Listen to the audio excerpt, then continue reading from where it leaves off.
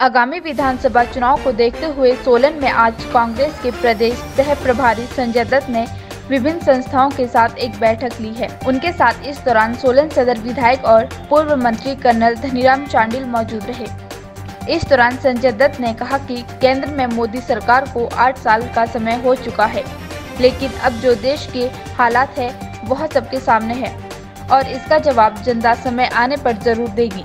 उन्होंने कहा कि अपनों को लाभ पहुँचाने का कार्य हिमाचल प्रदेश में इन दिनों जयराम सरकार कर रही है।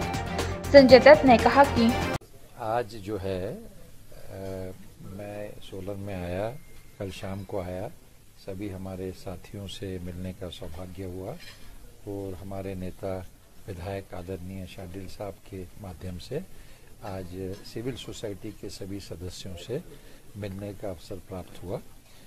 और उनके माध्यम से जनता के विचार, जनता की राय, जनता के सुझाव हमारे मैनिफेस्टो के विषय में, हमारे नीतियों के बारे में बहुत अच्छा एक संवाद आज उनके साथ हुआ। सभी हमारे सिविल सोसाइटीज़ के एन थे, वकील थे, पत्रकार थे और विभिन्न क्षेत्रों से आने वाले थे ओपिनियन मेकर्स उन सबसे बात हुई, हमने उसका नोट किया और आदरणीय शांडिल साहब भी मैनिफेस्टो कमेटी के चेयरमैन हैं।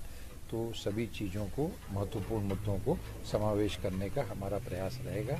इसी तरीके से जो मैनिफेस्टो कांग्रेस का बन रहा है, वो जनता का मैनिफेस्टो है, क्योंकि हम हिमाचल के जनता, विभिन्न वर्गों के बीच जाके उनके सुझाव, उनकी राय जान रहे हैं, जिसका समावेश हमारे मैनिफेस्टो में होगा। सोशल मीडिया के बारे में आप जानते हैं, कुछ बातें सच्चाई होती हैं, कुछ अफवाहें होती हैं। कांग्रेस लीडरशिप ने जो है हिमाचल प्रदेश कांग्रेस के लिए एक प्रदेश इलेक्शन कमेटी की स्थापना की है। ब्लॉक से, जिला से जो नाम आएँगे रिकमेंडेशन के रूप में, ये सभी प्रदेश इलेक्शन कमेटी में सभी प्रमुख नेताओं का समावेश है। कांग्रेस कहाँ तवज्जो दे रही है? कांग्रेस ये कह रही है कि सिलेक्टिवली हम जो है उसको चूज़ कर रहे हैं। और हर चुनाव के परिपोक्ष में जो निर्णय की भूमिका होती है वो स्थानीय परिस्थिति और स्थानीय नेतृत्व को विश्वास में लेके हाईकमांड की भूमिका रहती है। हमारे जो एआईसीसी की तरफ़ से सीनियर ऑब्जर्वर लगे हैं, वो छत्तीसगढ़ के मुख्यमंत्री आदरणीय भूपेश बघेल जी हैं। उन्होंने ये मॉडल को छत्तीसगढ़ में सफल करके दिखाया है, जिससे कि ग्रामीण भाग के किसानों को जो है आर्थिक ताकत देना तो ये काम। का मॉडल हिमाचल में कारगर है? नहीं आप बात समझे नहीं मेरी।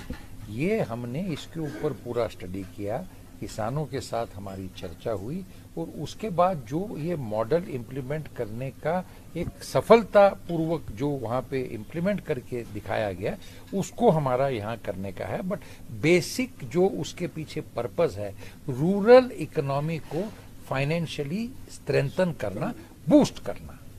आपका फैसला के लिए सोलन से ठाकुर ज्ञान सुमन की रिपोर्ट।